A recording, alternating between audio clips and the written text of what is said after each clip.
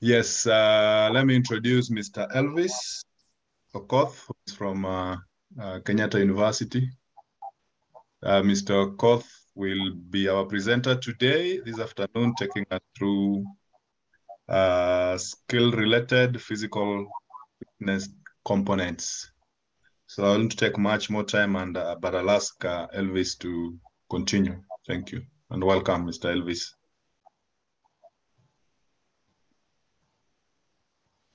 Thank you. Thank you, John. Let me just uh, share my slides. Okay, so good afternoon, everyone, or depending on with where you are, it's, it's afternoon here in Kenya. Um, I can see we have uh, uh, people from other parts of, of the world, but um, it's afternoon here. Good afternoon. Um, Afternoon you. said earlier on, as said earlier on by John, my name is um, Elvis Onyango Okoth. I'm a fitness practitioner, exercise and sports physiologist at uh, Kenyatta University, uh, Department of Physical Education, Exercise and Sports Science. Um, I had the opportunity to meet with John and uh, some some people from uh, our National Olympic Committee a few weeks back, and uh, we got to talking. We went around the campus, Kenyatta University, and um, uh, John and his colleagues got to see what we usually do at KU in terms of fitness, in terms of uh, fitness testing, in terms of sports. So I'm going to present um, a small topic, a small talk on fitness and performance testing in sports. So I'm going to start from the very basic, from physical activity, and build it build it all the way into fitness, and then categories of fitness and the various sort of field tests that we can do uh, in a in a sort of in a field sort of kind of setup. Okay, so first things first, physical fitness. Uh, before we get into physical fitness, um, I want us to look into physical activity. Uh, physical activity has been defined as the physical act, as any bodily movement produced by our skeletal muscles. Uh, and of course, uh, this movement requires energy expenditure. Uh, and of course, it's activities such as uh, while working, playing, carrying out household chores, traveling, and engaging in recreational pursuits. So any sort of movement uh, that is uh, any bodily movement produced by our skeletal muscles. That is what we call physical activity. That is a very, very, very broad uh, perspective of what physical activity is. Um, I'd also like to sort of look into exercise. What is exercise? Exercise is a subset of physical activity behavior that involves purposeful. You have to be purposeful. You have to be sort of willing and uh, repetitive movements with the aim of improving either your cardiorespiratory endurance, your muscular, muscular fitness, physical fitness, flexibility. So the whole aspect, the whole difference between exercise and physical activities that exercise is purposeful and of course it has repetitive movements. So it is carried out in a planned and structured manner. And what about sports? Sports is an activity involving physical exertion and skill in which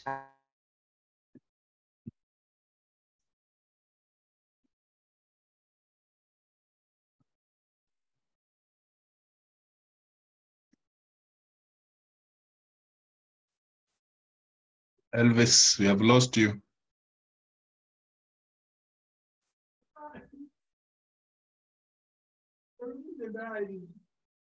Elvis, we have lost you. logical, intellectual, or mechanical performance. And to maybe get a little bit deeper into it, I'll also want to look into sports training.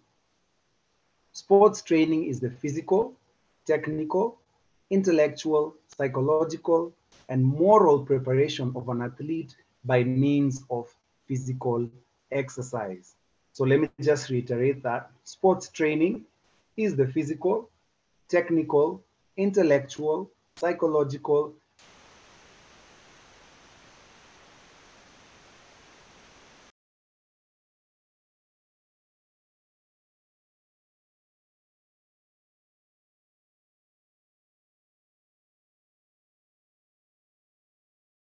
course, the main one is physical training.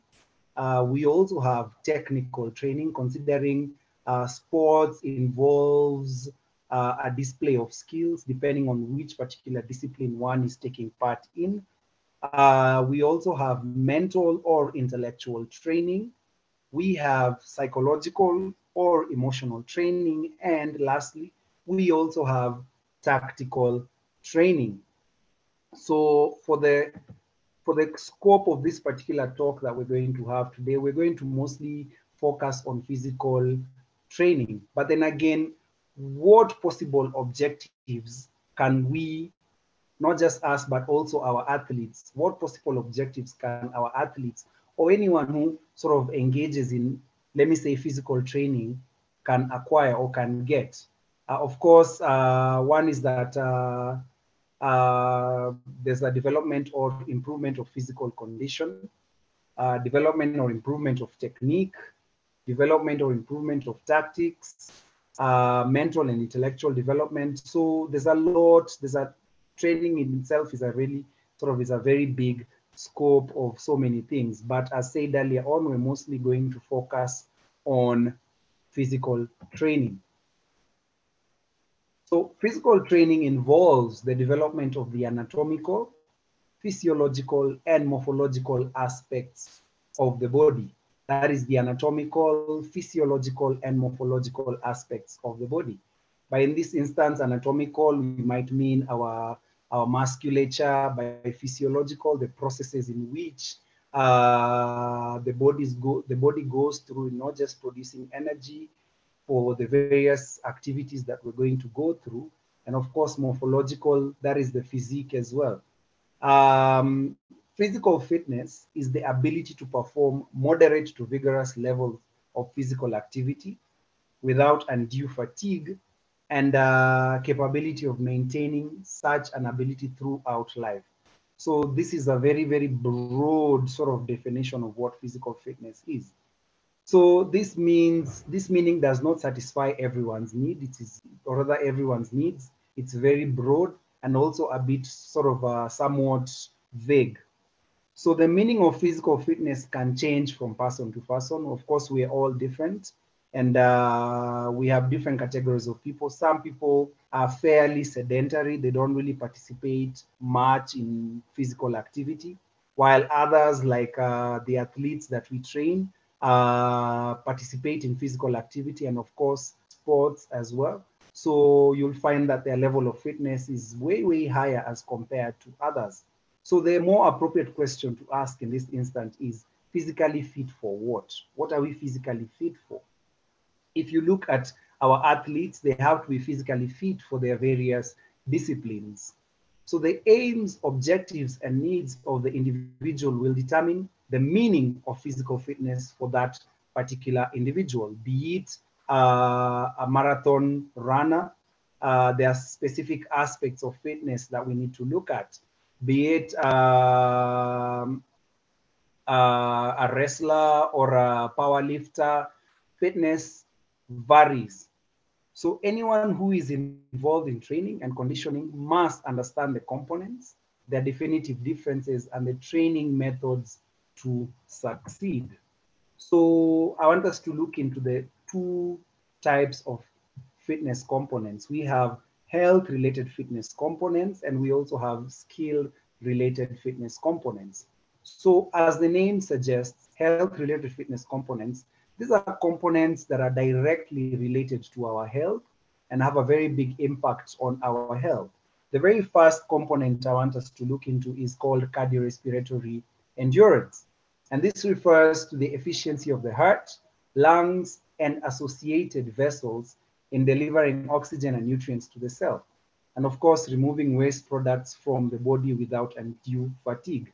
So if I can just simplify this a bit, your cardiorespiratory endurance uh, ideally is the support your body gives your skeletal muscles when you're engaging in repetitive sort of uh, activities such as running or swimming or, or walking or jogging or something like that. So over time, your skeletal muscles, the muscles that obviously um, sort of enable you to move, they need nutrients, uh, they need oxygen, and they also need a way of uh, removing waste metabolites. So for these muscles to be able to get these nutrients, for these muscles to be able to get this oxygen, and of course for these muscles to be able to remove the waste metabolites that sort of uh, is necessary, comes with the physiological processes, uh, there are various organs that comes into play. And of course, the main, one of the big ones is the heart. We also have the lungs and of course the circulatory system, whereby blood is the medium of uh, sort of pushing nutrients and, and oxygen to the skeletal muscles. And it is also the medium of uh, pushing oxygen and removing carbon dioxide. And of course, other metabolites like lactate from our from our blood blood system from, from the blood. So that is what we call cardiorespiratory system, or rather cardiorespiratory endurance. So if your cardiorespiratory endurance is a little bit low, it means that your heart and your lungs are not able to effectively supply the, the nutrients and the oxygen and remove waste metabolites to your skeletal muscles. So from a scientific perspective, that is what we call cardiorespiratory endurance. Uh, we also have muscular strength. And uh, muscular strength refers to the amount of force exerted or resistance provided by a muscle or group of muscles in a single maximal and voluntary contraction. Uh, we also have muscular endurance. Of course, there's a bit of a difference here. One is strength and the other one is endurance. Um, endurance refers to the ability of a muscle or group of muscles to sustain work for an extended duration without undue fatigue. And this is usually at submaximal efforts. Next, we have flexibility, musculoskeletal, and this is a musculoskeletal function. So it refers to the possible range of motion at a joint or a group of joints. Uh, we also have percent body fat, or you can even look at it from a broad perspective where you can also call it body composition, refers to the ratio of fat to lean muscle mass in the body, the amount of fat we have in the body as compared to lean muscle mass. Uh, it is also wrongly referred to as body compositions. So, but in reality, is the complete composition of everything that makes up the body, the skeletal, the muscular, the vascular, the organs, minerals, and water. Of course, in relation to the amount of fat we have in the body. This particular component is key in terms of, uh, it has a very sort of direct impact when it comes to health, because ideally the more fat one has in their body, the higher the risk of uh, non-communicable diseases, hypokinetic diseases, and of course, uh, there's of course limited motion. Uh, next, we also have power. Power used to be a component of as a skill-related physical fitness component, but nowadays is mostly sort of looked at as a sort of health-related physical fitness component because it is a it is a component of uh, of, uh, of strength and speed, and it is also deemed somewhat necessary. So power is the maximum force used to accomplish a task in the shortest time. So while strength is the maximum force that can be used in a single contraction, power is proportional to the speed at which you can apply this maxim maximal force. Uh, next, I want us to look into skill-related fitness components. So skill-related fitness, fitness components are components that uh, I would say they are higher level physical fitness, a higher level physical fitness components that uh, are mostly used by uh, individuals or athletes taking part in sports, uh, depending with the discipline. Uh, for example, speed. Speed is the time taken to complete a task or rate of motion or velocity of movement. Uh, we also have balance, ability to maintain equilibrium over a small base. we have agility, that is the ability of the individual to change body positions and directions rapidly. Uh, this is mostly evident in uh, probably games like uh, soccer uh, or rugby, whereby athletes are required to be able to change and switch directions rapidly. we have coordination. This is the ability to perform smooth, fluid, and balanced motion without awkwardness, whereby we sort of we are able to balance different aspects of, of our of, of our bodies to be able to achieve a specific task. Uh, lastly, we have reaction time. Uh, and this is the time taken to respond to stimulus. A good example is uh, during a penalty kick. When a soccer player kicks the penalty, the goalkeeper has to be able to have good reaction time so as to be able to, to, to adequately see where the ball is going and also try and save that ball. So that is basically an introduction into what fitness is and what uh, and the various aspects and various components of physical fitness. Uh, I want us to look into why it is important for us to be able to ascertain or assess these particular aspects of fitness. Uh, so fitness testing or assessment is used to determine various aspects of physical fitness and health. So why, why fitness testing? Why do we need to do fitness testing? Uh, firstly, we need to do fitness testing so as to be able to identify strengths and weaknesses of our current of current performance or state of health. Um, if you have your, your players, you have to be able to constantly test them and see where they are in terms of, of, of their fitness capabilities. And uh, at least by knowing this, you're able to sort of um, come up with protocols that will be able to sort of um, improve whatever weaknesses that they are there. Uh, we fitness test so as to be able to provide feedback regarding the effectiveness, effectiveness of a training protocol or lifestyle modification program. For example, uh, if um, maybe soccer players have been put into a specific uh, strength and conditioning protocol, for us to be able to see whether this particular protocol is, uh, is, is effective, we have to test. Uh, we also test because uh, for us to better understand uh, self capabilities, for us to better understand how far uh, we can push ourselves or how far we can push our athletes. Uh, we test so as to be able to set goals. Uh, this is incentives to improve, motivate, and also achieve. And lastly, as, as coaches and, and, and sports practitioners, we also test so as to be able to identify talent, uh, identify strengths and weaknesses and potential strengths and potential weaknesses. Okay, so we've looked into why we should fitness test.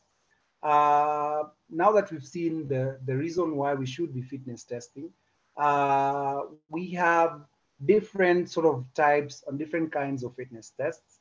We have uh, direct fitness tests and indirect fitness tests. So direct fitness tests, these are sort of gold standard uh, kind of tests, and these are sort of mostly lab-based tests. These are tests that we mostly do at, uh, for example, at Kenyatta University, we do at our human performance lab.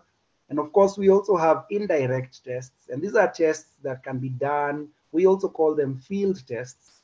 These are tests that can be done um, sort of uh, by our coaches out there in the field. Uh, they are easily easy easy to sort of um, execute and um, and easy to to implement. Uh, they don't require a lot of expense. They don't require expensive equipment. Uh, they are fairly fairly understandable. So I am mostly going to focus on uh, field tests so as to be able to make it easier for our coaches to be able to also do fitness testing. So before getting into that, there are some basic principles and guidelines of uh, fitness appraisals that I think is necessary for us to, to look into. So first one is a pre-test instructions. So before you test, uh, all pre-test instructions should be provided and adhere to prior to arrival of the arrival of the athletes at the fitness testing facility. The following steps should be taken to ensure client safety and comfort before administering a health-related physical fitness test. So one is that we should perform informed consent process. This is very, very important, uh, whereby the athlete needs to know what exactly he or she is being tested for. Uh, they need to know if there are any sort of risks, um, uh, any sort of risks, anything, maybe injuries or anything like that. They need to be adequately informed and they need to understand. Uh, we should also allow the athlete time for the individual undergoing the assessment to have all their questions adequately addressed. So we call that the informed consent process. Before you test, uh, whoever you're testing has to consent to it and has to be able to understand exactly what you're testing and how you're going to test it. Uh, there's also, we should also perform exercise pre-participation health screening. Uh, from a university perspective, uh, we have uh, many kind, we have many athletes. Uh, of course, our athletes are also students. Uh, before they engage in, in, in any sports, they have to have health screening, which is done at our Directorate of University Health. Uh, so it is necessary. It is necessary, especially nowadays, uh, whereby we've seen instances whereby athletes are falling down and dying from cardiorespiratory issues. These are necessary key things that we need to consider. Uh, we should also have a complete pre-exercise evaluation, including a medical history and a cardiovascular disease risk factor assessment. Um, individuals can complete a self-guided questionnaire, such, a, such as a physical activity readiness questionnaire. So it is necessary for us to be able to have all this, of have all these things in place. Um, the test organization. How do we organize the test? So the following should be accomplished before the client or the patient or the athlete arrives at the test site. One is that we should ensure consent and screening forms, which we've already spoken about. Uh, we should have all the data recording sheets because ideally what we're looking for is data. All that should be ready. And any related testing documents should be available in the client's file and available for tests administration. Uh, we should also calibrate all the equipment that we're going to use. We should calibrate all the equipment that we're going to use. So for example, if we're going to use a treadmill or if we're going to use uh, any, any sort of equipment, maybe a bench press or whatever it is, weighing scale, the stadiometer, we should make sure they are properly calibrated. When multiple tests are to be administered, the test, the organization of the testing session can be very important. So depending on what physical fitness components are to be evaluated. So we need to be able to consider how we are going to do this test and the order in which these tests are going to be done. So resting measurements such as heart rate, blood pressure, height, weight, and body composition should be obtained fast. That goes without saying. Uh, and also an optimal testing order for multiple health-related components of fitness.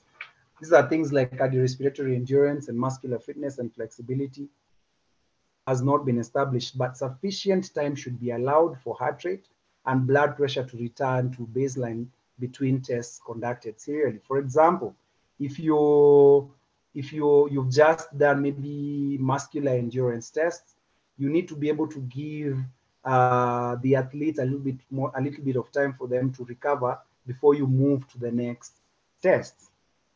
And then test procedures procedures should be organized to follow in sequence without stressing the same muscle group repeatedly. To ensure reliability, the chosen order should be followed on subsequent testing sessions.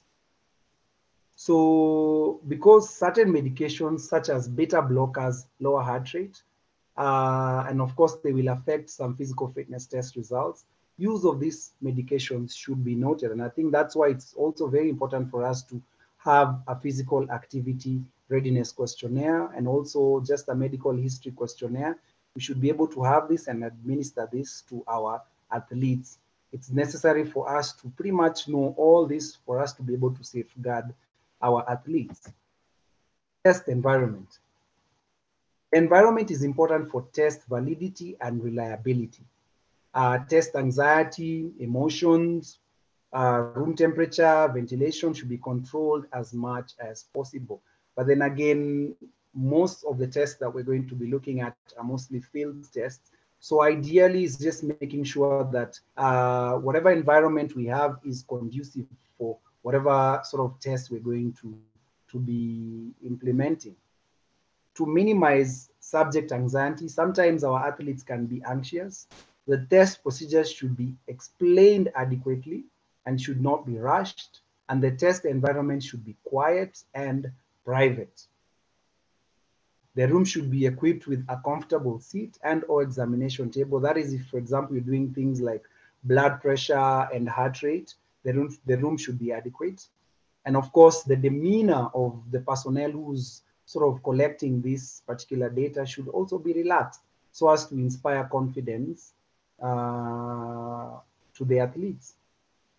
The exercise professional should be familiar with the emergency response plan in case in case of an emergency, because we we all know, and it goes without saying that fitness testing has some a bit of a risk to it, and uh, of course we need to try and try as much as possible to mitigate this risk, and and we can do this by having an emergency response plan. For example, if you want to test cardiorespiratory endurance and you've decided you want to maybe do uh, maybe a shuttle run bleep test or something like that, it is a sub-maximal exercise, but it still it will still push the particular sort of athletes. So we need to have an emergency plan in place. For example, should someone maybe feel dizzy after finishing or after, uh, after finishing their test, uh, we need to be able to have first aiders in place and uh, maybe people who can assist in case such an emergency occurs. we should note that the risks of health-related physical fitness testing may outweigh the potential benefits for some individuals. Although some appraisals such as body composition pose very little risks, others such as cardiorespiratory endurance, uh, of course, that, that require physical exertion may have a bit of a higher risk. And that is why it is important for us to have uh, maybe we should look at um, our, our athletes' uh, medical history and also have them have rather go through a cardiovascular health check before sort of doing all this. The very first order of tests, the very first order of tests, first uh, that we usually start with is anthropometric tests. Uh, anthropometric measurements are a series of quantitative measurements of the muscle, the bone, adipose tissues used to assess the composition of the body. So ideally, when your athletes are coming in, uh, let's say, for example, maybe it's a, it's a pre-season, maybe pre-season test before you guys start your season. So when they come in, the first thing you have to do, you need to take their height, you need to take their weight. Uh, of course, we also have other kinds of uh, anthropometric tests that we can do, and these are mostly body composition tests. Uh, we can do skin fold tests. We can do waist, waist to hip ratio test, body mass index test. So the core elements of anthropometry are height, weight, body mass index, body circumferences, and skin fold thickness. So these measurements are important because they represent diagnostic criteria for obesity, which significantly increases the risk of conditions such as cardiovascular disease, hypertension, and of course, diabetes. So how do we get this height? So for us to be able to measure height, of course, we require some materials. Uh, from a very basic perspective, we can just use a measuring tape. And of course, uh, okay, so procedure, so athletes should stand against a wall without shoes. So whenever we're measuring for height, we do not obviously wear shoes. Uh, heels, buttocks, shoulders, and back on the head are all in contact with the wall. Uh, and of course, uh, we should make sure that the bending the measuring tape to 90 degrees at a right angle with the wall at the highest point of the head or not here. So if we do not have a stadiometer, we can use a measuring tape. Um, ideally, if you can look at uh, the picture uh, under anthropometric tests. You can look at the picture on the left. Uh, the particular individual is actually, uh, his height is being measured using a stadiometer. And you can also see the individual also stepping on the scale, and that is his weight being taken. So for weight, uh, we mostly need a scale, uh, and we mostly do measure in kilograms, depending on which part of the world. Others measure in pounds, but in, in Kenya here, we mostly do use kilograms. Apart from doing that, uh, of course, with our height and our weight, we can be able to ascertain BMI. We can also uh, measure waist to hip ratio. But from an uh, athlete's perspective, uh, waist to hip ratio might not necessarily be the best kind of tests we can use. So it will not necessarily give us an accurate sort of percentage body fat reading. So before getting into that, I want us to get into cardiorespiratory endurance tests. Uh, and from that, you can see the kind of picture we have here. We have someone in a lab assessing uh, a particular athlete. And this is what we call a clinical sort of kind of testing. And this is what we were calling direct testing. This is uh, a VO2 max testing. This is something that we do in a lab setup. But then again, this kind of setup is very, very expensive and not everyone has the necessary equipment to be able to do this. So we have other alternative tests that we can use, especially in a field setup.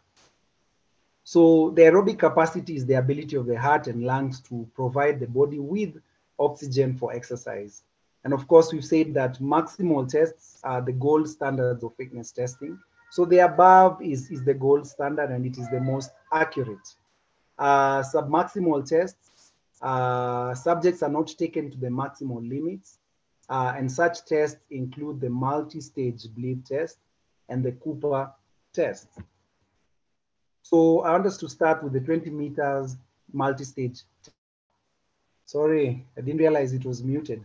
So let me just go back a bit. Um, so we were talking about height and weight as uh, some of the anthropometric tests that we can do.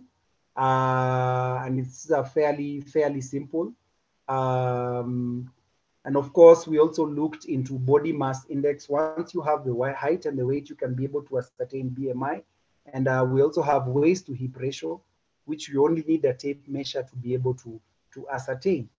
Um, and for body composition, we also looked into skin fold thickness, which we are not going to look into considering not everyone has the necessary equipment to be able to, to, to use skin folds, but we're going to look into something we call predicting percentage body fat using girth measurements.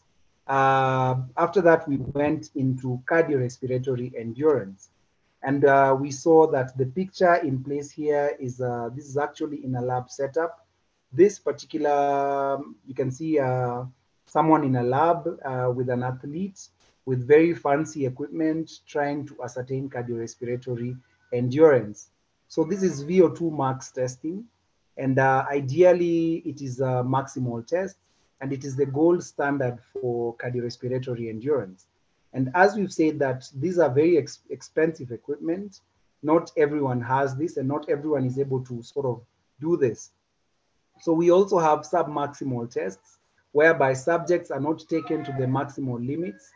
Such tests include uh, the 20 meter multi-stage bleep test and the Cooper test. So we're going to look into the 20 meter, or rather 20 meter multi-stage shuttle run bleep test. And for this, we've said, ideally, we don't really need that much. We just need marking cones. Of course, a fairly flat surface, marking cones. Uh, we need to measure out 20 meters in between the cones.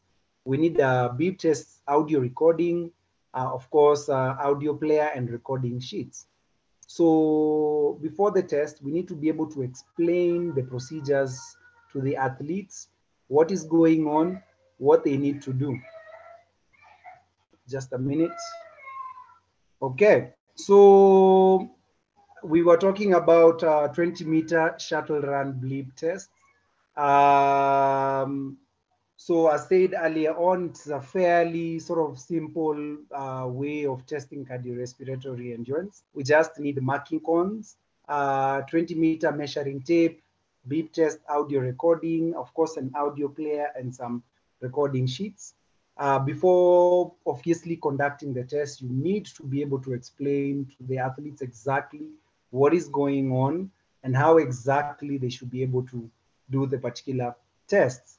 Uh, procedure, uh, this test involves continuous running between two lines 20 meters apart in time to, of course, with while following the recorded beeps.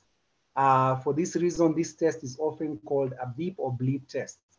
So ideally, it is, um, I wouldn't say it's a maximal test, it's a sub-maximal test, but ideally it's one of the most effective ways of testing cardiorespiratory endurance in a, in a field setup.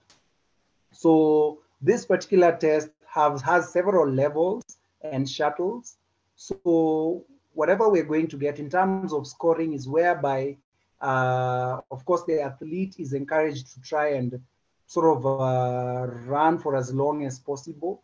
And the point at which they are exhausted and they cannot run anymore, uh, we will collect the level and the shuttle. So each level has several shuttles. So as we start, you'll find that level one has uh, about uh, maybe 10 shuttles, level two, like that, like that. So for example, if an athlete leaves, or maybe um, the athlete has has um, has managed to leave the test at probably level two, shuttle three. That is what we're going to note. And we're going to use that particular data to be able to either calculate their VO2 max, that is VO2 max is your cardiorespiratory endurance, or we can still use that particular level and shuttle, still using normative data, we can still be able to ascertain exactly how uh, in terms of fitness, how fit is this particular athlete in terms of cardiorespiratory endurance. So we also have a Cooper 12 minute run walk test. So ideally, this is one of the easiest tests that uh, we can use for cardiorespiratory endurance in a field setup. Um, ideally, all is required here is just uh, maybe a whistle, a stopwatch, and of course, a running track, a running track whereby we have an idea of the distances being covered. So this is a run walk test whereby the, the athlete is allowed to either run or walk over a particular sort of um, of a particular duration of time, and this is 12 minutes.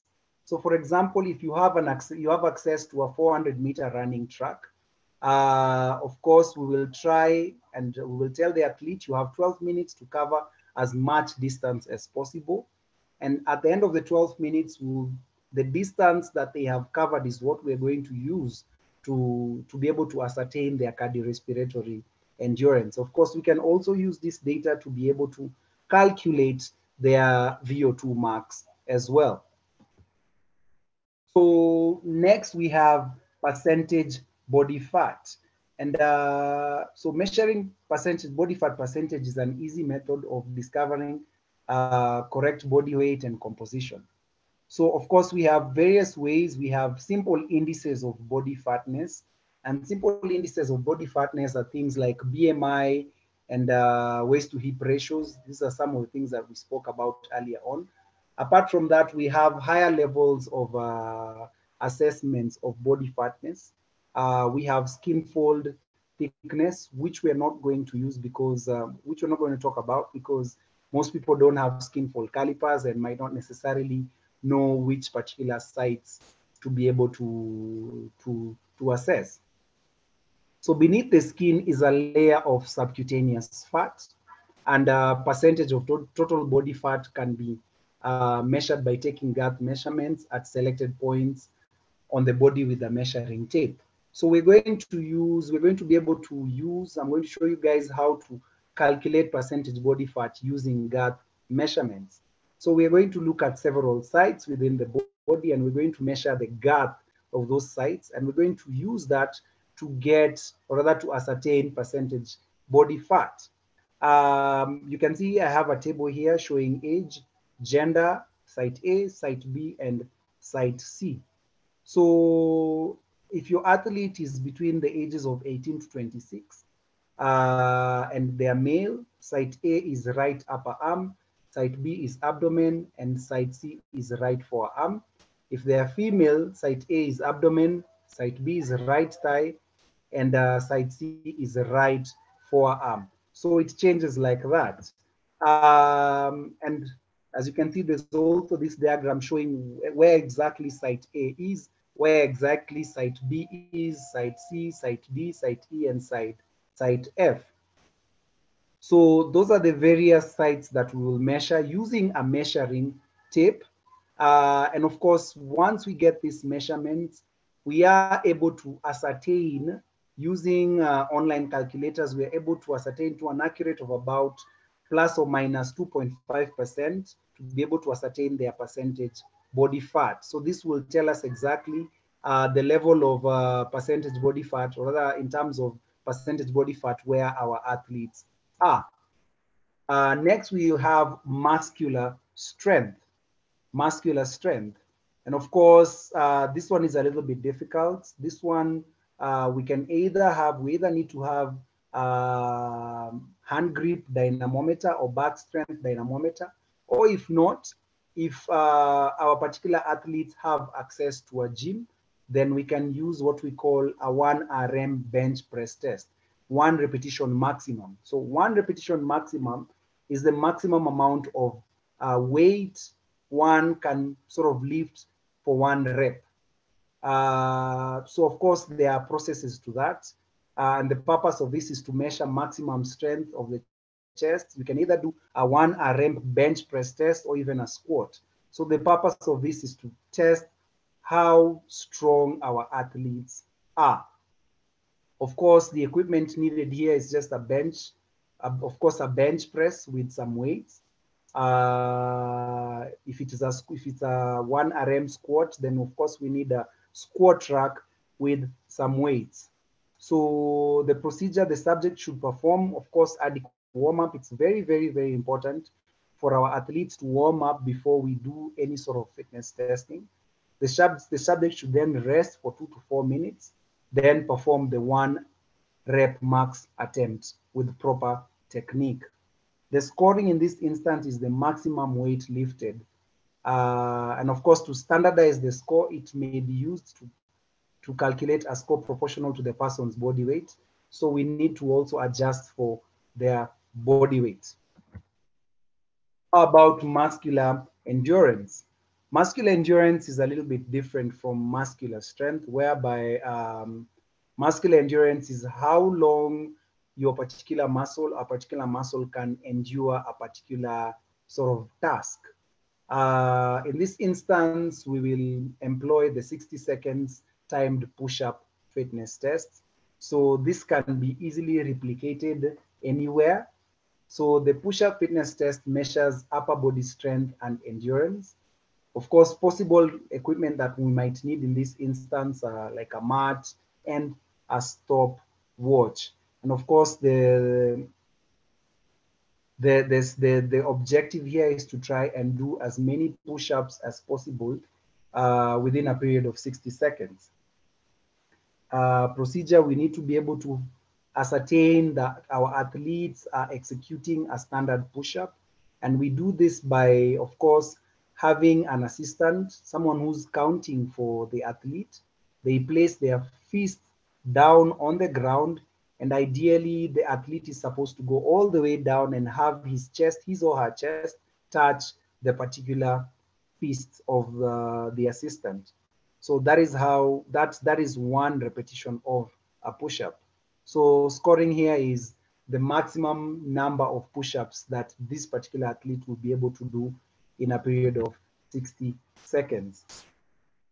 We can also, for the same, we can also do either a pull-up or chin-up tests. So for the men, for, the, for, for men, we can, this can be a pull-up or chin-up. For ladies, it can be a hanging, you, you can just, it's called, we, we, hang, we call it a hanging lift. You can just, they can just hang and then we see how long they last. So the pull-up test is widely used as a measure of um, upper body strength. um, upper body endurance. Participants must grab an overhead bar and pull up the body so that the chin raises above the bar. Then return to arms fully extended position. Of course, the purpose is to test your muscular strength and endurance. So this is fairly simple. Uh, I'm sure um, it's easier for athletes to get an horizontal overhead bar. So this can be easily replicated by anyone out there. Uh, for flexibility, we have different sort of modes and different sort of uh, kinds of flexibility. For health-related physical fitness, we mostly look at low back flexibility, but then again, we also have shoulder elevation flexibility, we have uh, knee flexibility, and this one will take us to sort of a little bit more complex modes of assessing uh, flexibility. But the most, the simplest way of assessing flexibility is actually the sit and reach flexibility test. Uh, from the picture, you can see the particular individual is actually doing a sit, sit and reach flexibility test. So it involves sitting down, having uh, legs flat on the ground, knees down, and reaching out as far as possible. So the score that we'll have gotten in this particular instance, we'll cross-reference it with uh, normative data. Uh, and of course, we'll be able to see how good or not so good our low back flexibility is. Next, we have power. And from this, you can see from the picture, we can see there's a lady uh, standing and reaching out. Uh, so that is her sort of standing height baseline. And now from that, she's squatting down and trying to jump up as high as possible. So the distance that we're going to measure is uh, that is uh, the distance from her standing height to her jumping height. Uh, and so this is uh, what we call the vertical jump test. And this is what we use to ascertain for power. So this test is used our explosive leg power. And of course, all that is needed is just a high wall, such as uh, the one outside of a building and a bit of a room so that one can jump and land safely. And of course, this one we start by standing aside onto a wall and of course reach up as high as one can with hand closest to the wall. Of course, we make note of how high you can reach. And then of course, we jump up to try and get a jumping height. Of course, to aid the process, uh, if you can have maybe a chalk or something like that. So you jump with the chalk and mark where, or rather the athlete jumps with the chalk and marks the point at which uh, they reach after jumping. That is their maximum jumping height. And so we will be able to measure that distance. And that is what we use to ascertain their vertical uh, jump, or rather their, their sort of leg power.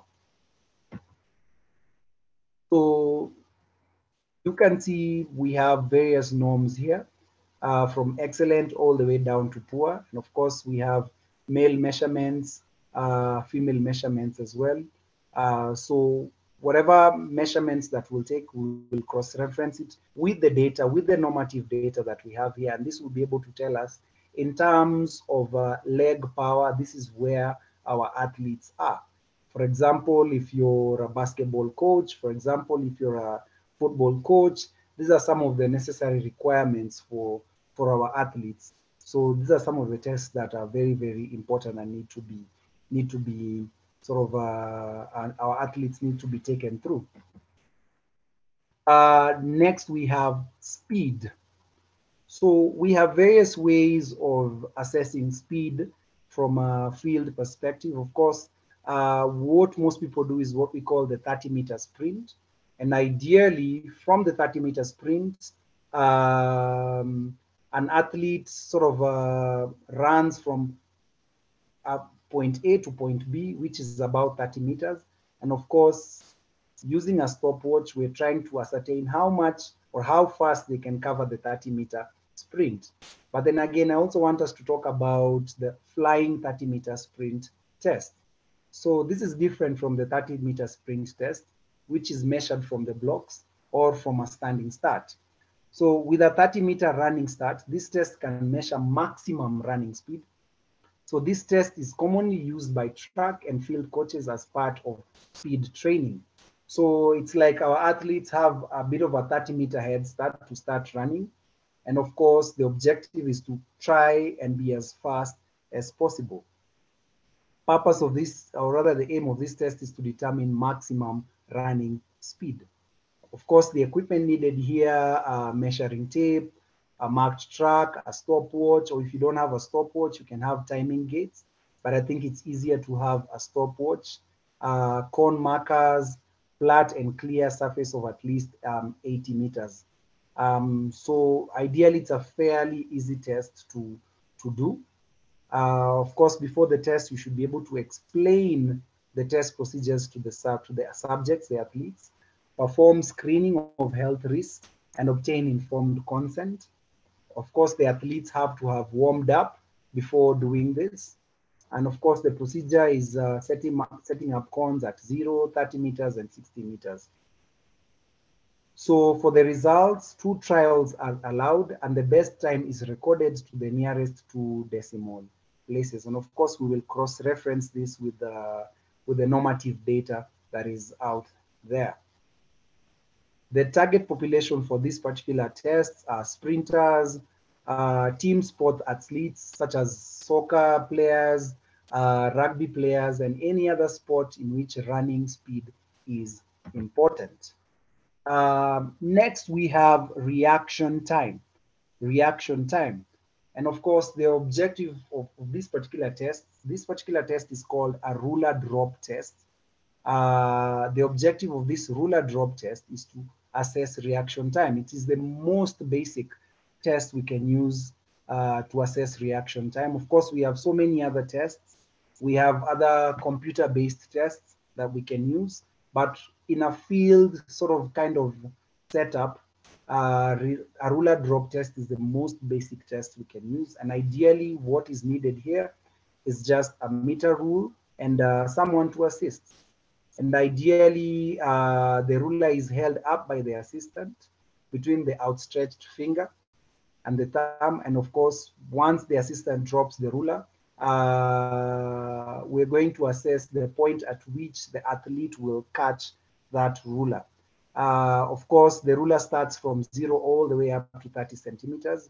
And uh, we're going to, to assess and look at the point at which the athlete will catch the ruler. And we will use that, cross-reference it with our norms and be able to ascertain our athlete's reaction time. So it's a fairly, fairly basic mode of assessing reaction time.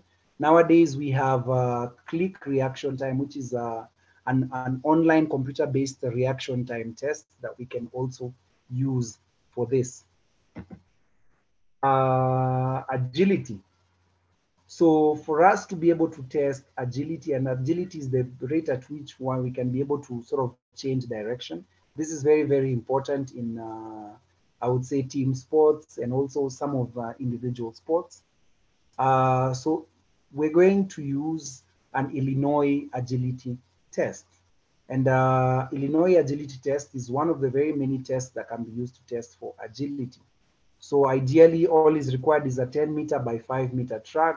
Of course, we need uh, about 10 marking cones. The athlete starts from, uh, from a lying position. And once the whistle is blown, they stand up and run the course. The course is fairly complicated, so we need to be able to explain this to the athletes before before explain it and maybe if you can actually even um, physically demonstrate uh, it's better if we do this so, so as for them to be able to understand exactly what is being assessed here so Elvis. the course layout the length the length of the course is 10 meters and the width is 5 meters of course, we need cones, and in between the cones is uh, 3.3 meters. So I've linked a video sort of showing how exactly the particular sort of uh, test is undertaken. It is fairly complex, so it needs to be practiced before actually doing the particular test. So it is a simple test to administer, requiring minimal equipment. And also players' ability to turn in different directions and at different angles are tested.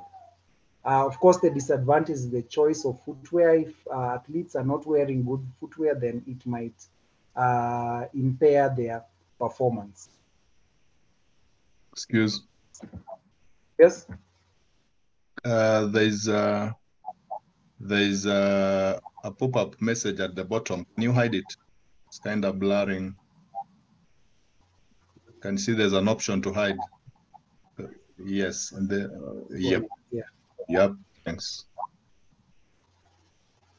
Okay. So this test does not distinguish between left and right turning ability.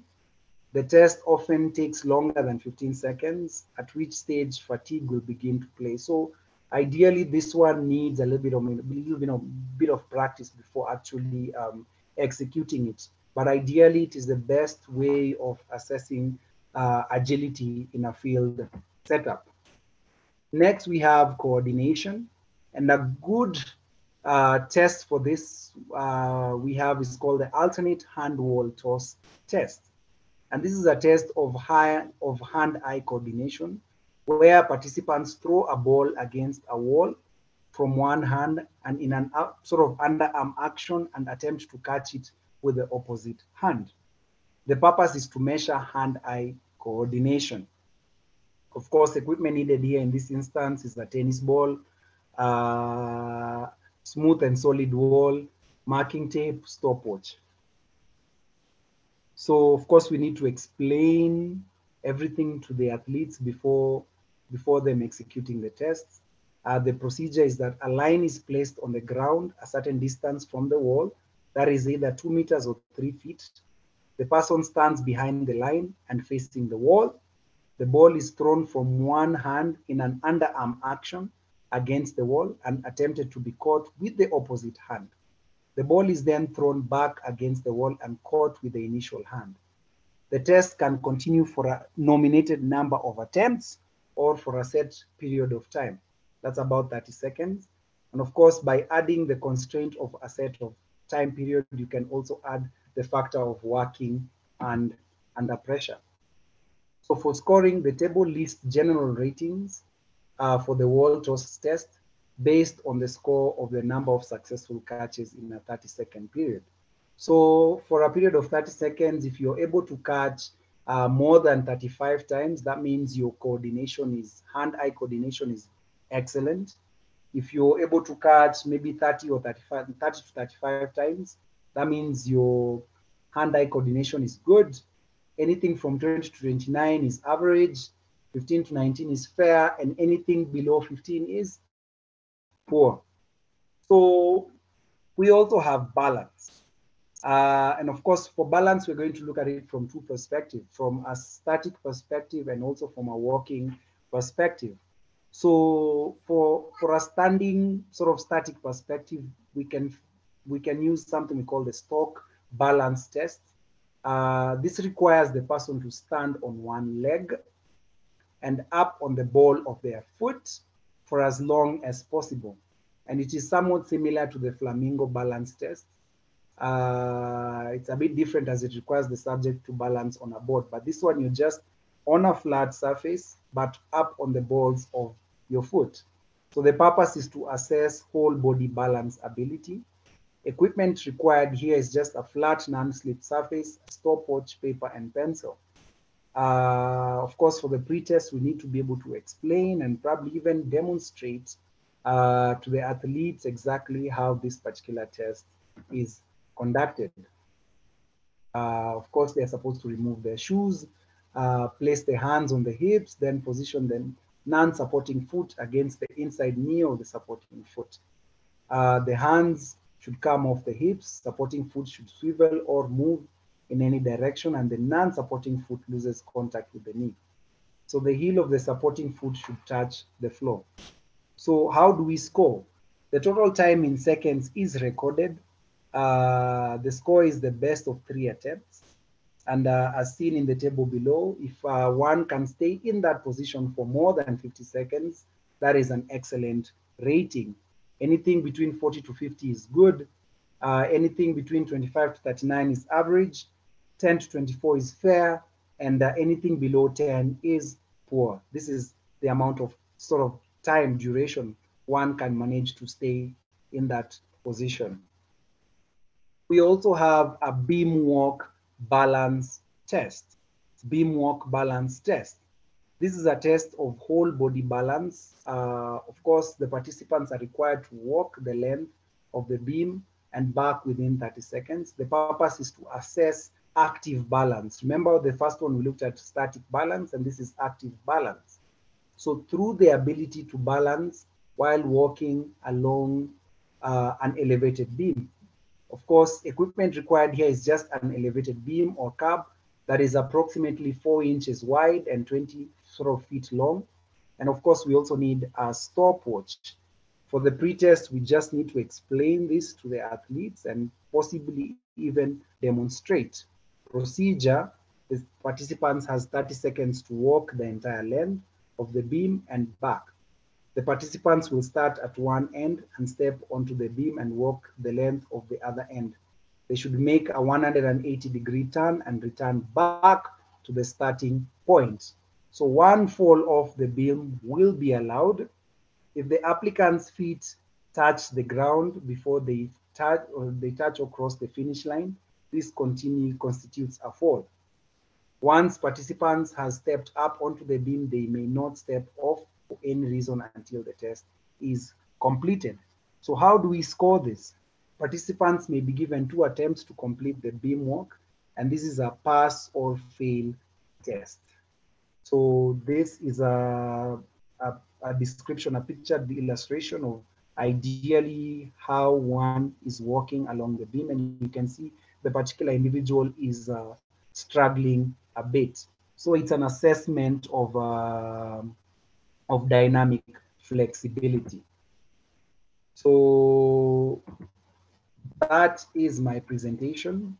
Um, I hope we've um, we've uh, I hope we've enjoyed the presentation, and uh, um, I'm open to any questions. Thank you. Thanks so much, Elvis. And as you said, uh, anybody with any question?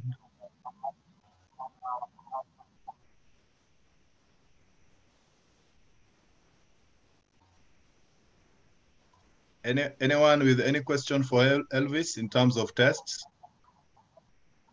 Or if you would want to ask for a particular, okay, uh, ask for a particular sport, rather what would best work for a particular sport or your sport?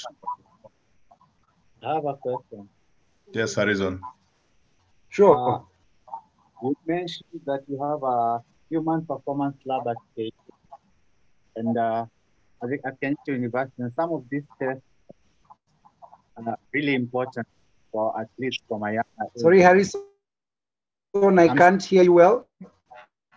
I'm saying you you mentioned you have a human performance test lab at KU, Kenyatta University.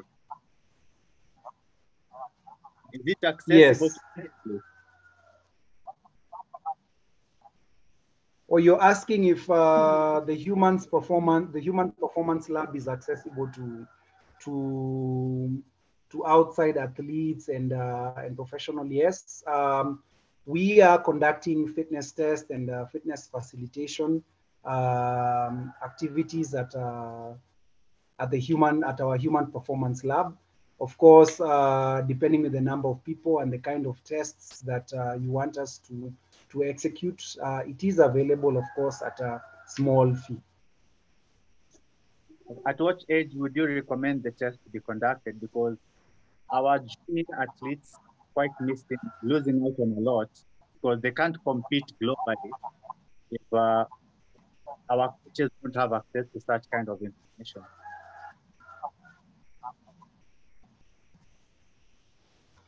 Okay, you're asking at what age would I recommend uh, fitness testing? Um, If you look at um, at uh, I would say the normative data that we have there, most of the normative data actually ranges from around 16 going up. Um, so people from around the age of 16 going upwards are allowed to be able to be tested. But from below that, we can't really test per se, considering we will not necessarily have uh, anything to cross-reference it with. And of course, as I said earlier on, there are some tests that are fairly uh, maximal and might be maybe a bit too much for these younger athletes. But of course, uh, from 16 going upwards, we can test. Okay, my last question, sorry. Uh, are people special population for these tests? Say for Paralympics. Sorry? Like, are people in special population considered in this test? Okay, you're asking about uh, people in uh, special our special population whether they can be tested. Of course, they can be tested. We have specific norms uh, from adapted physical education for our special population. Of course, we don't have a lot of it. We have it's fairly limited, but we can test and we have specific tests for uh, uh, our special athletes as well. Okay, thank you so much. Hello. Karibu. Yes. Hello. Yeah. Hello. uh, yes, my- I can hear you. Uh, um, I wanted to ask a question. A question about um, Yes. um, a question about um, on weightlifting issue. If you want to test the musculars and weightlifting training, how do you do test for the for the athlete for the athlete also in weightlifting? How? What can we do for the test of the athlete in weightlifting? Thank you. So you're asking about weightlifting, and sorry, I didn't get quite that. What exactly about weightlifting do you want to test?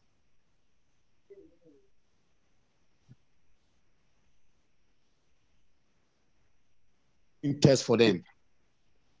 What kind of test can we do for weightlifting? Or what kind of tests we can do for weightlifting?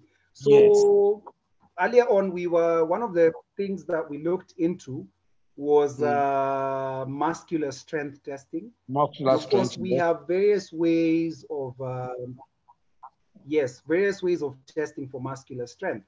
Uh, Yeah. I only sort of pres- presented something on uh, bench press. That is for your pectoral muscles, your upper Yeah. body strength.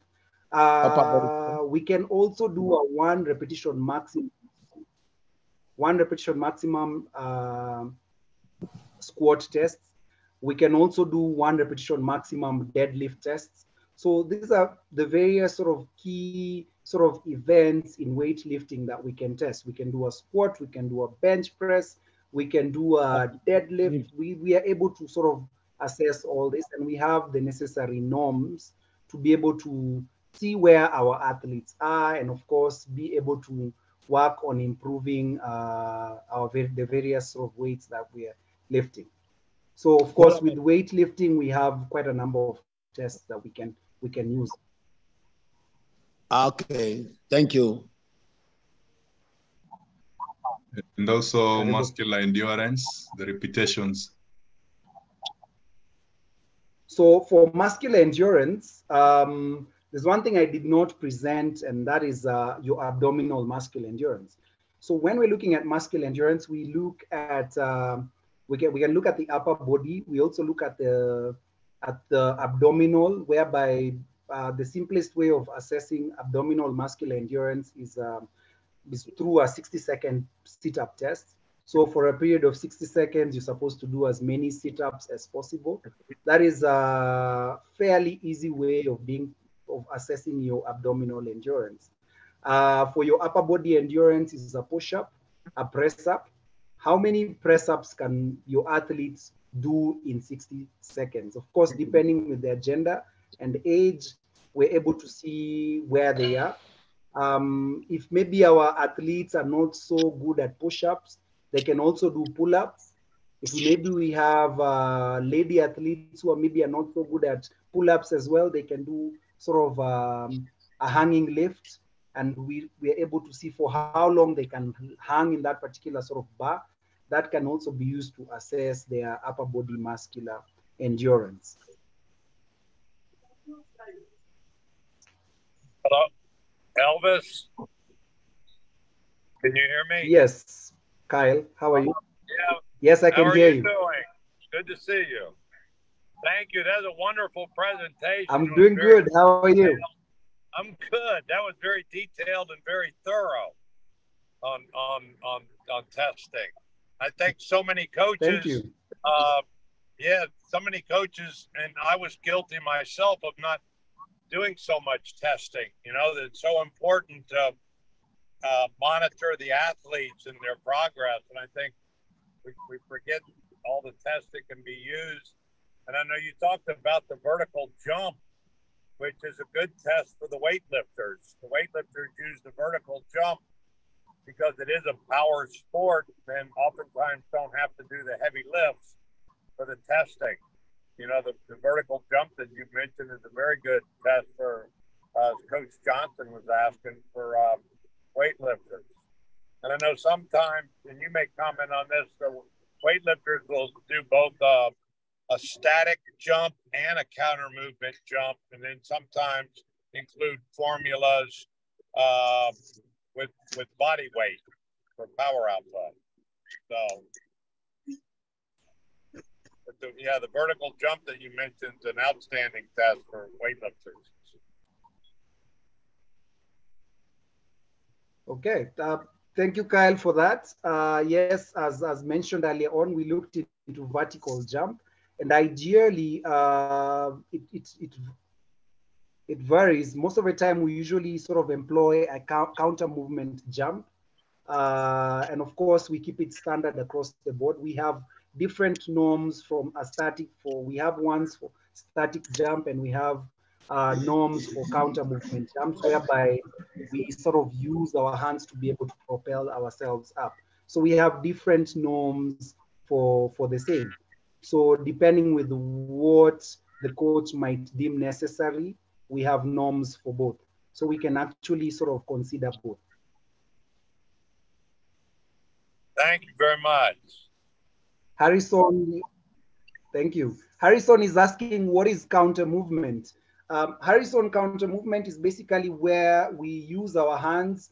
We call it somewhat of a, it's a blocking movement that helps our body to be able to propel ourselves upward.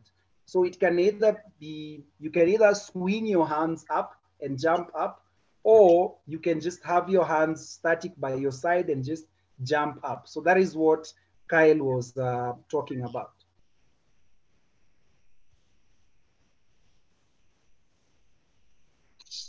So, Elvis, uh, if you don't mind, uh, we have different uh, coaches from different sports here.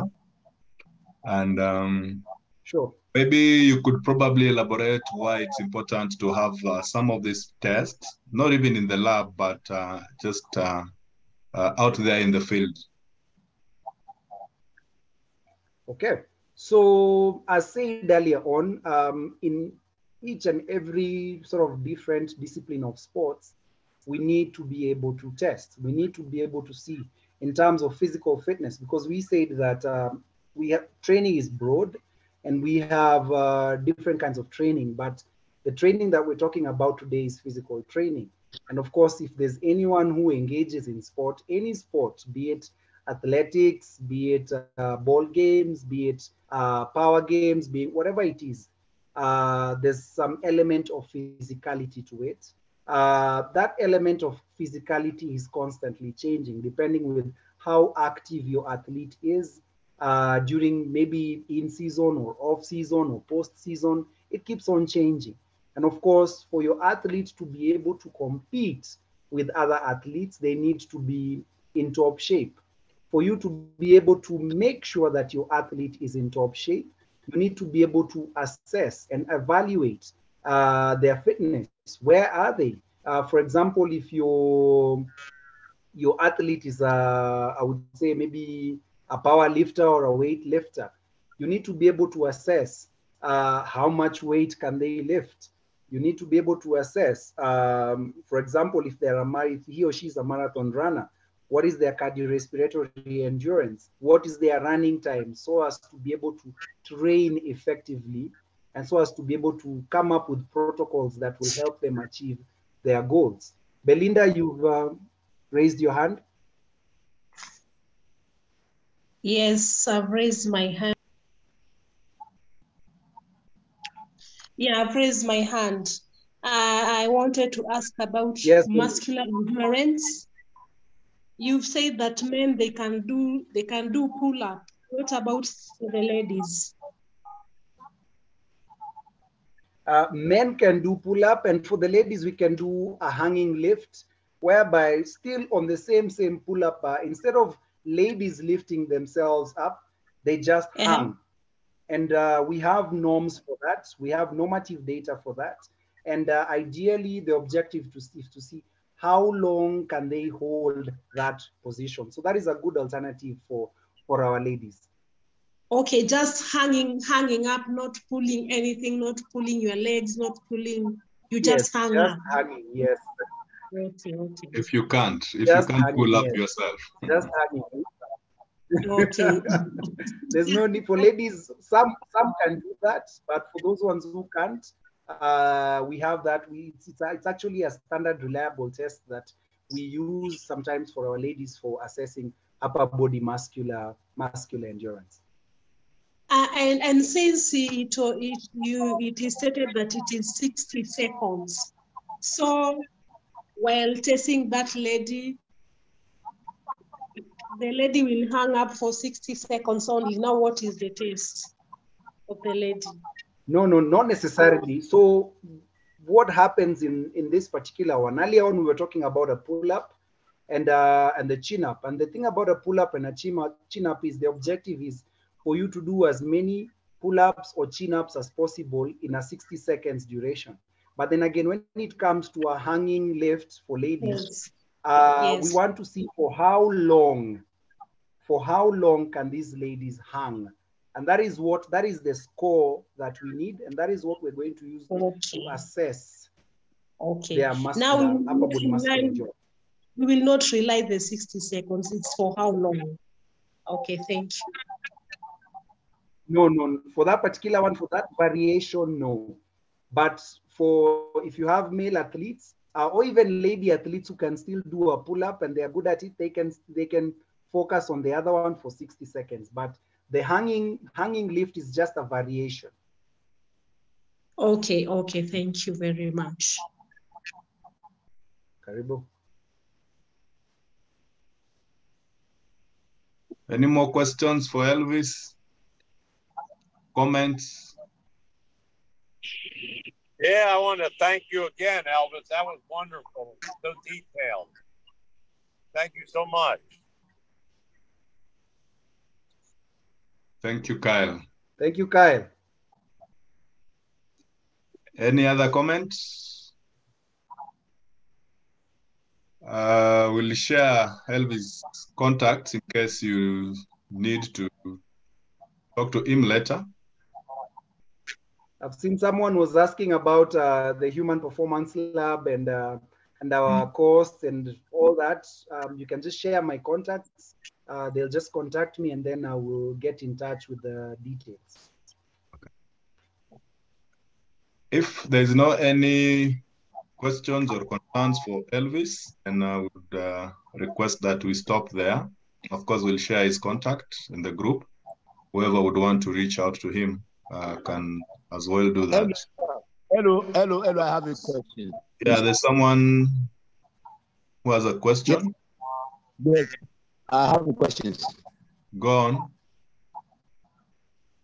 I know, I, I, I know, and Elvis has already said that um, we can do uh, a bench press for the weightlifting test and um, other tests like that for weightlifting. But what about Cooper test, please? Is it possible to do Cooper test? Because I know that the Cooper test is for mostly mostly footballers use Cooper test to test their endurance and their strength and their speed. But in weightlifting, if you want to test the their their their their, their, their speed or their, their their their endurance, how can we do the test for them also? Okay, so you're asking you asking about the Cooper test, and uh, I, Yes, the Cooper test, the the Cooper Cooper test test is mostly a talk about. So the Cooper test is a cardiorespiratory endurance test. And um, ideally, yes, it is uh, mostly used by athletes for testing cardiorespiratory endurance. It's one of the tests that we use, but um, I would say the most popular one that uh, we mostly use, especially for, for footballers, is a shuttle run bleep test. Uh, for rugby athletes, we have the yo-yo intermittent test. So we have different tests depending on the sort of kind of discipline that uh, that we engage in. You know, uh, I'll give you an example of rugby. It has a start-stop sort of nature. So uh, a Cooper test might not necessarily be the best one, but the best one would be a yo-yo intermittent test or even shuttle run bleep test. Uh, yes, we do use a Cooper test, but um, from my experience, we mostly use Cooper tests. Uh, we don't really use it for sort of high level athletes. For high level athletes, we use shuttle run bleep test or, or even um, a VO2 peak test in a lab setup. Uh, Fanny has a question. Even saying it's though out of topic. Yes, Fanny. Hi. Hi. My question is about flexibility. Uh, personally, I've been having Yes. a hip injury since 2019. And at first, the at the physiotherapist thought that uh, maybe it is because of the cyst I had. So they were expecting by the end, by the time I have been, the cyst have been removed after the operation, everything will be okay. But till today, I still have that injury. So what can I do about it? Because sometimes when I walk, personally, I won't realize I'm limping, but someone will tell me I'm limping. So I don't Okay. know what is the main, main cause.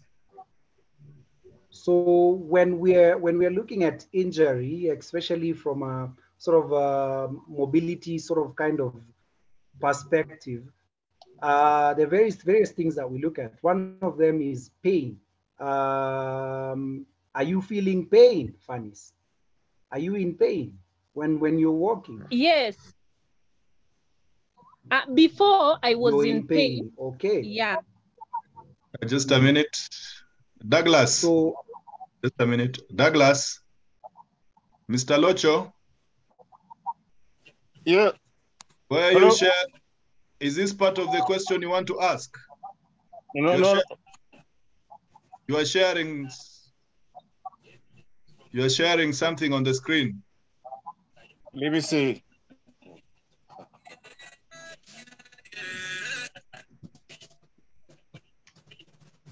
Okay, now you can go on, Elvis. So yeah, so we we usually look at it from various perspectives. If you look at um, um, joint flexibility and uh, kinds of injuries, uh, the very first thing that we look at is pain. If you're feeling pain, that means that uh, the particular injury is is particular is still there. If your range of motion is impaired, meaning uh, the level at which you're able to sort of move your joint is uh, is somewhat impaired. That means we're still injured. Um, so if the pain, you say that initially the pain was there, but it is no longer there. That means that of course there's some level of uh, recovery. So after such kind of, uh, I would say an operation, of course, the level of fitness was a bit impaired. So, but since there's no pain, that means there's recovery. The only thing that is uh, so sort of uh, remaining is the aspect of flexibility, whereby uh, are you engaging in the necessary sort of flexibility and mobility exercises that can help to to open up the hip? Um, I don't know if you're engaging in those exercises. And another thing is also it might also be psychological, whereby uh, you don't see yourself limping, but someone tells you that you're limping. That means uh, subconsciously you're favoring that side. Fanis. Uh, the problem is when I re- when I started resuming my training, that is when again I start fe- I start I started to feel the pain, but right now it is on one side, on my left side. That is if I exercise. And I'm a, I'm a karate Okay, so now, So sometimes Okay. when it comes to kicking, I can't kick higher like before. so what I would suggest is, Fanis, uh, before getting into sort of uh, specific karate exercises, I would I would recommend that you engage mostly in uh, hip mobility exercises and also hip strengthening exercises, hip flexibility exercises before getting back into active karate. Uh, you need to strengthen that particular joint before going back. So, because um, again, if we go back too soon, it might uh, make our condition worse and we'll find ourselves being injured again. Okay. Thank you. Karibu.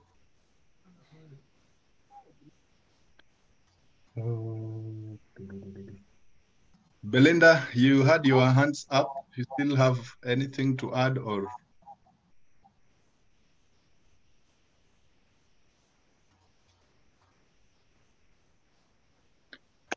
All right.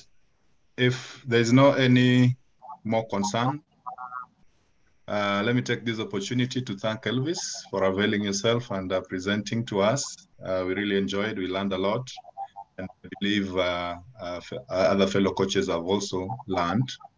And of course, you gave in a very good information that you can come into at KU to some of these tests. It's important that coaches know that fitness, baseline fitness, and health tests are very important and key in terms of sports performance. Otherwise, thank you so much, and uh, we will welcome you again next time to if you're still willing to present, we will, we will welcome you again next time. Thank you so much.